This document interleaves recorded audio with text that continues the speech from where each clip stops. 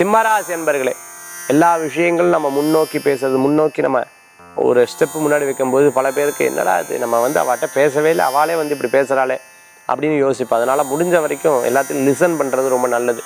என்ன நடக்கிறது என்ன? அவள் கருத்து கேட்டால் சொல்ல அட்வைஸ் கேட்டால் சொல்ல இல்லைன்னா சொல்ல வேண்டாம்.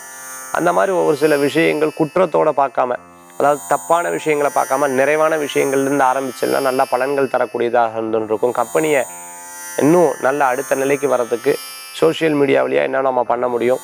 இன்னும் நம்ம விளம்பரத்துக்காக என்ன பண்ண முடியும்? இன்னும் நம்ம நல்ல முன்னேறதுக்காக என்ன பண்ணணும் இந்த பிஸ்னஸ் இன்னும் பெருக்கிறதுக்கு என்னென்ன வழிகள் உண்டு? யாரை வந்து வேலைக்கு சேர்த்தலாம்? வேலையாட்கள் மாற்றலாம் அப்படிங்கிற சில டிசிஷன்லாம் இன்றைய தினத்தில் எடுக்கக்கூடிய வாய்ப்புகள் பிஸ்னஸில் இருந்துருக்கும். இருக்கும் இன்றைய தினத்தில் பண வரவு செலவுகளை பற்றி சிந்திப்பேன். குடும்பத்தில் இருக்கிற பிரச்சனைகள் இதை நம்ம தொழில் கூட சேர்ந்து சம்மந்தப்படுத்தி பார்க்கப்படாது பூர்வீக சொத்துல இருந்த விவகாரங்கள் பிரச்சனைகள் தீரும். இன்றைய தினத்துக்குண்டான அதிர்ஷ்டமான எண் மூன்று நிற மஞ்சள் வழிபாட்டுக்குண்டான தெய்வம் குரு வழிபாடு குலதெய்வ வழிபாடு வெற்றி வழிபாடு.